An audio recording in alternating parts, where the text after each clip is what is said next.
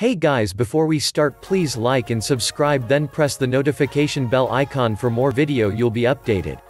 So this is something I hear extremely often when speaking to new female clients in the gym. Many women's fitness regime consists of long session of cardio, with maybe a few very lightweight exercises with high reps. When I ask, why are you training the way you are? The majority of the time the client will tell me that they are trying to lose some body fat and tone their physique. Some go into more detail about how they want to tone their arms, have smaller well-defined legs, or have a flatter stomach with some muscle tone underneath. Now, unfortunately, there is no such thing as spot reduction, it is physically impossible for a human being to lose body fat in one specific area of the body, but that is a whole new topic for another day. I always ask whether they include any weight training in their program, and the majority of women say no, or yes but with light weights and high reps. But why is this the case? More often than not many women avoid the weights area as they are afraid that lifting heavy will cause significant muscle gain, and after all they just want to tone. It's hard to discover where the idea of toning came from as in reality there is no such thing, you are either building muscle or not. The toned look that many women strive for is established through weight training to build the muscle underneath and then losing the body fat over the top through a well-structured nutrition program. Hours of cardio and high rep, low weight training is only going to leave you frustrated with little results.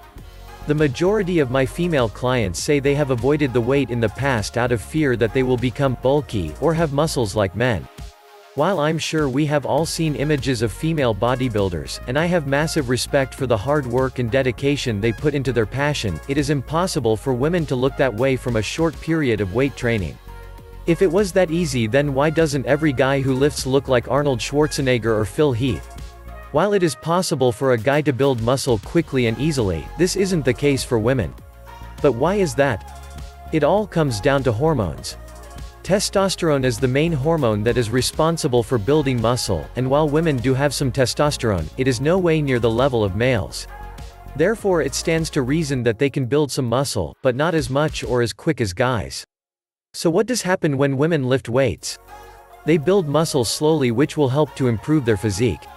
More muscle tissue in the legs make the thighs and bum more shapely, and more development of the arms can help the fight against bingo wings.